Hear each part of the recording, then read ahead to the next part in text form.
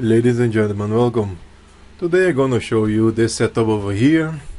I don't have it running because uh, I did some tests and it was a total failure. But I'm gonna show you what I did. As you can see over here, I have a coil in there. Uh, it is the same Trinity Dynamo of mine.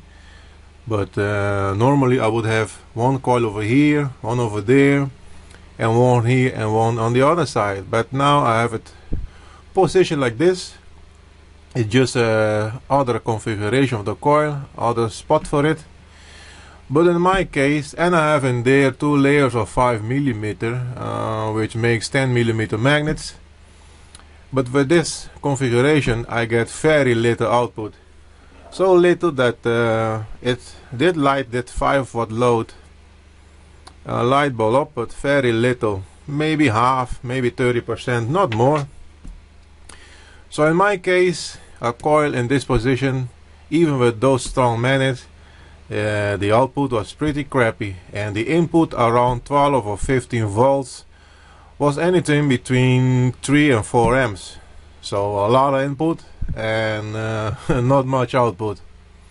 So a total fail but just let you see it as you can see over here there's a coil.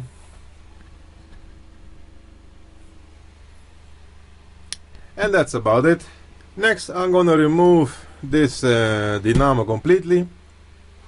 Set up in there once again my uh, single phase generator because I still had a lot of tests I want to do on it.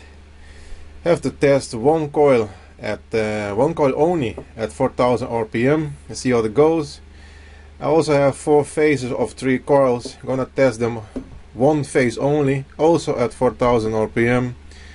And then I want to test all four in parallel.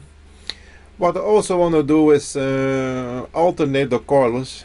So six coils in series and the other six in short. And see how that goes. And also I need to step it down. All these coils are now in series. Step that down and see how it goes.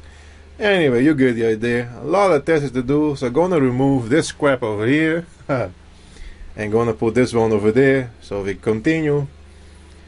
Uh, I also have to make a video on this one. That will come pretty soon again also.